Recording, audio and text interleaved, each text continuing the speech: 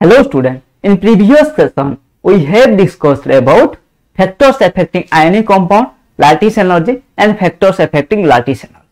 ठीक है today we will discuss determination of lattice energy by Born Haber cycle.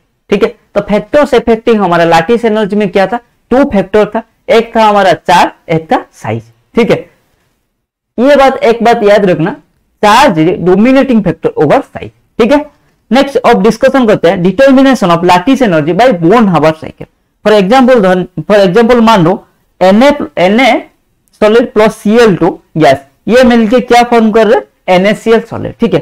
तो ये है enthalpy of formation delta H ठीक है? अब हमें बोन हावर साइकिल की मदद से लैटिस एनर्जी कैलकुलेट करना है, ठीक है? तो देखो, हमें ये आयनिक कंपाउंड कैसे फॉर्म होता है? Na सॉलिड से हमें Na प्लस दोनों हमारे गैसीय स्टेट में लेते हैं, Na plus gas plus Cl minus gas ठीक है? ये दोनों मिलके क्या बनते हैं? NaCl सॉलिड सही है या नहीं? रियलिटी में क्या होता है? Na plus gas plus Cl minus gas मिलके हमारा क्या होता है?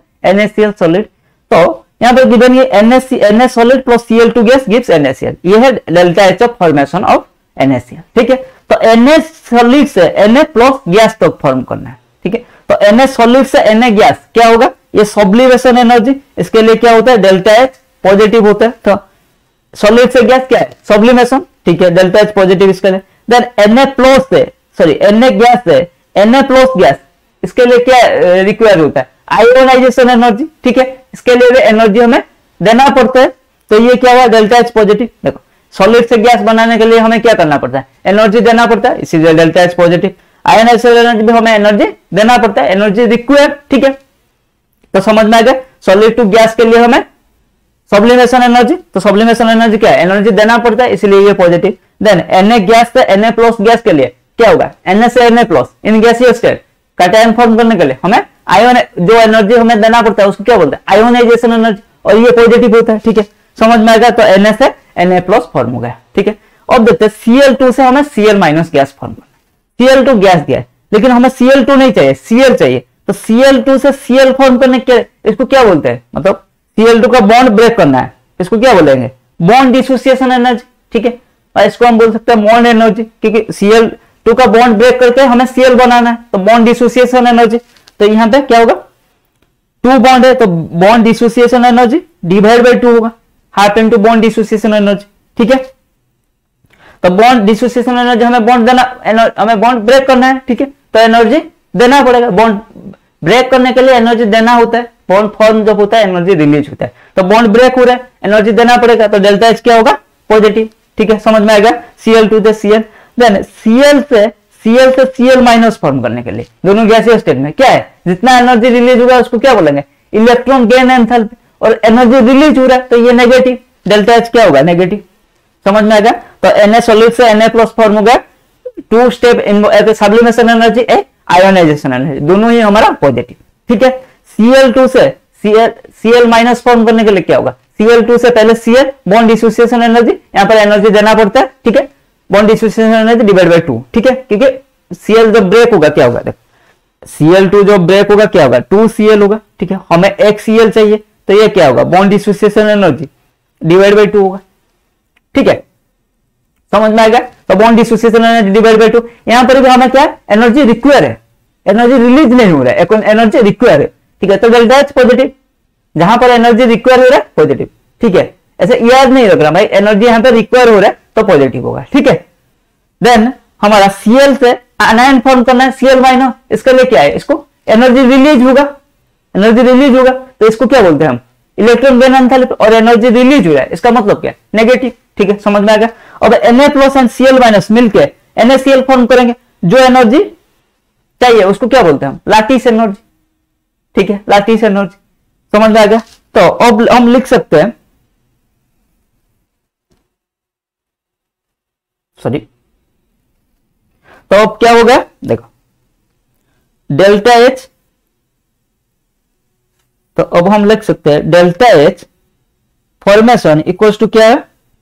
देखो sublimation energy plus ionization energy plus bond dissociation energy divide by two ठीक है? Minus electron gain enthalpy plus lattice energy ठीक है? समझ में आ गया?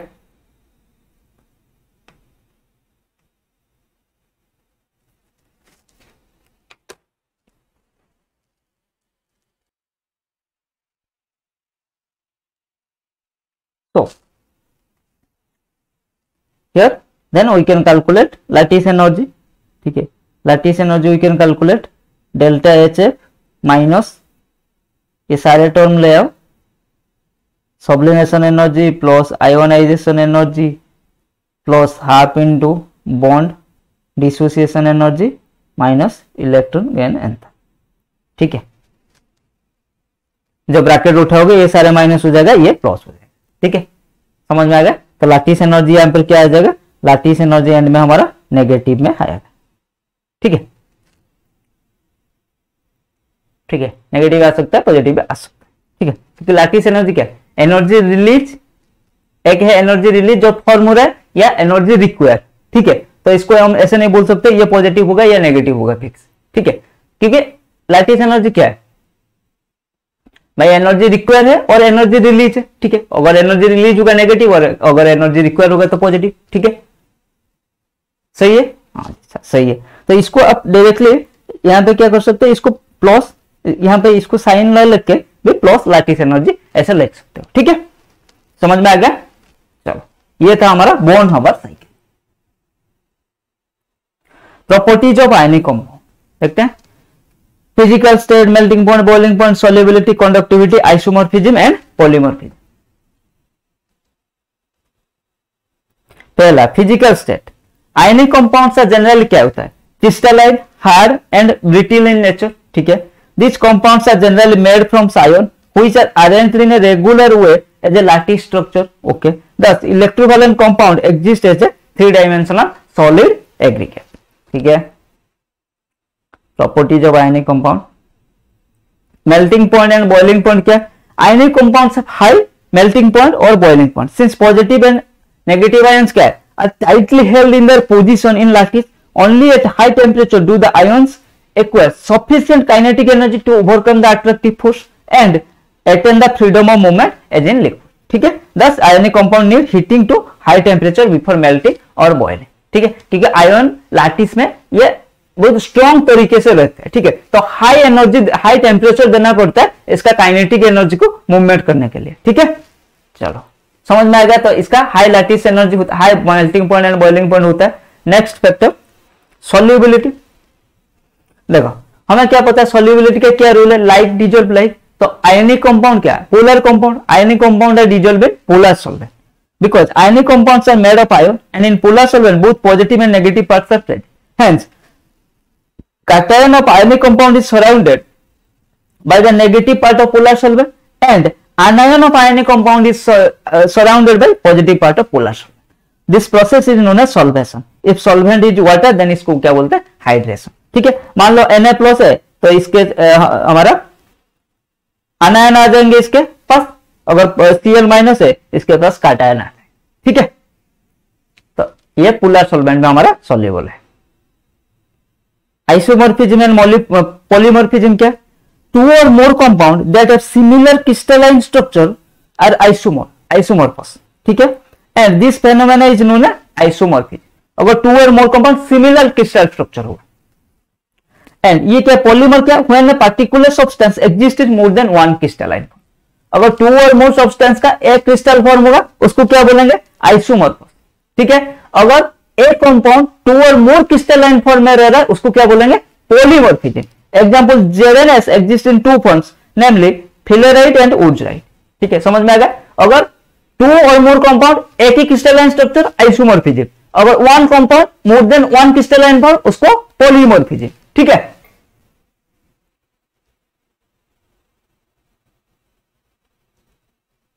Then conductivity. In an aqueous solution देखो आयनिक कंपाउंड क्या है? फॉर एग्ज़ाम्पल हमारा आयनिक कंपाउंड सबसे प्यारा सा आयनिक कंपाउंड है एनएसए ठीक है? ये जब सॉलिड स्टेट में रहता है, ऐसे ही, इसका क्या है? ये बेड कंडक्टर ऑफ़ इलेक्ट्रिसिटी होता है। लेकिन इसको जब पानी में डाल देते हैं एक्वस सोल्यूशन क्या होता है? गुड कंडक्टर ऑफ़ इलेक्ट्रिसिटी हो जाता है, क्योंकि NaCl Na plus and CL minus हमारा फ्री हो जाते हैं, ठीक है? In aqueous solution of ionic compound are separated and solvated और हाइड्रेटेड इसको बोलते हैं। ये potential difference is applied then flow of ion takes place ठीक है? आयन सेपरेट हो जाते हैं तो अगर हम चार्ज अप्लाई करेंगे हम करंट अप्लाई करेंगे तो वो मूव करेंगे, ठीक है? This means that positive ion start moving towards negative terminal and negative ion start moving towards positive terminal ये आप सबको पता है। This movement of ion facilitate the law sorry the flow of electricity ठीक है? जब उसको पानी में डालोगे, वो उसका आयन सेपरेट हो जाएगा। जब उसको वोल्टेज अप्लाई करेंगे तो क्या है? मूव करने लगेंगे। भाई पॉजिटिव ढूंढेगा, भाई नेगेटिव कहा है? नेगेटिव कहा है? ढूंढ के जाएगा, ठीक है? नेगेटिव क्या करेगा? पॉजिटिव की तरफ़ जाएगा, ठीक है? तो ऐसे ऐसे हमारा क्या करेगा? वो इलेक्ट्रॉन फ्लो करेगा, ठीक है? तो हाई मेल्टिंग पॉइंट जनरली किस सॉलिड फॉर्म में रहते हैं, ठीक है? और थ्री डायमेंशनल स्ट्रक्चर बनाते हैं, ठीक है? सॉलिड स्टेट में इसको अच्छे से डिस्कशन करेंगे, ठीक है? Melting point boiling point high होता है। Solubility ionic compound general polar को हमारा पोलर सॉल्वेंट में सोल्यूबल है लाइक डीजल लाइक रूल ठीक है? एंड आइसोमॉर्फिज्म एंड पॉलीमॉर्फिज्म क्या है? एक compound sorry more than one compound एक ही क्रिस्टलाइन फॉर्म आइसोमॉर्फिज्म एंड अगर one compound more than one crystalline form उसको पॉलीमॉर्फिज्म ठीक है? तो इसी के साथ हम आज के क्लास को यही खत्म करता है। Ionic compound factors affecting ionic compound lattice energy factors affecting lattice energy Born Haber cycle and हमारा क्या था? Properties of ionic compound properties इतना इंपॉर्टेंट नहीं है बोर्न हवर साइकिल भी इतना इंपॉर्टेंट नहीं, लेकिन लैटिस एनर्जी का फैक्टर्स अफेक्टिंग लैटिस एनर्जी ये सबसे ज़्यादा इंपॉर्टेंट है। अभी तक जितना हमने डिस्कशन किया है, ठीक है? मैं सब मिलते हैं अगले क्लास में, तब तक के लिए कीप लर्निंग कीप ग्रोइंग